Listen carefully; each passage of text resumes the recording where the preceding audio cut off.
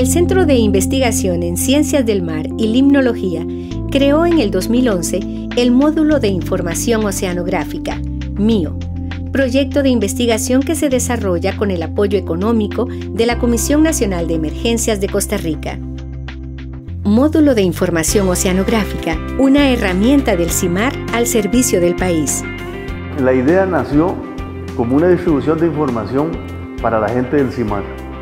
y luego nos dimos cuenta de que esta información era importante para otras gentes, usuarios del mar, como los pescadores. De manera que empezamos a distribuir información también a los pescadores, al guardacostas, y de pronto nos dimos cuenta que era información también importante para el Instituto Meteorológico Nacional y la Comisión Nacional de Emergencias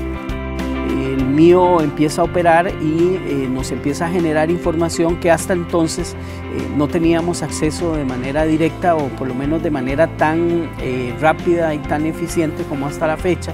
y nos permite además trabajar en coordinación con otra de las estructuras que la Comisión Nacional de Emergencia debe coordinar, que son los comités municipales de emergencia. El pronóstico que estamos ofreciendo es el pronóstico oficial en Costa Rica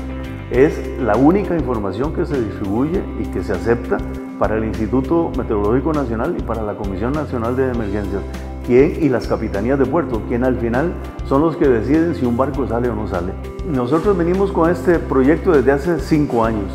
y la información la estábamos poniendo en la página, pero no todo el mundo tiene una computadora para accesar esa información. Y entonces creímos que eh, una aplicación para teléfono y justamente para pescadores que muchas veces se van a la mar y no tienen un medio de información, un teléfono es la forma de conectarse y de saber sobre las advertencias que se distribuyen. Además, los turistas y mucha gente que va hacia las playas accesa este, esta información y se distribuye la advertencia a través de esto y se enteran de los procesos que se están dando en la costa. La información se encuentra disponible para los vecinos de las zonas costeras y sus visitantes, siendo de acceso gratuito a través de una aplicación para teléfonos inteligentes llamada con las siglas MIO o bien en el sitio web del proyecto www.miocimar.ucr.ac.cr. Se han convertido en uno de los, de los proyectos estrellas en cuanto a producto, en cuanto a aplicación, en cuanto a implementación también y su incidencia directa en zonas eh, de amenaza, en este caso comunidades costeras. Ofrecemos pronóstico de oleaje y eso lo estamos entonces monitoreando con cámaras. Tenemos una cámara en Limón, una en Jacob y otra en Caldera. Y esa información también la estamos poniendo en la página, de manera que el público, accesando nuestra página, puede ver las imágenes de esas cámaras.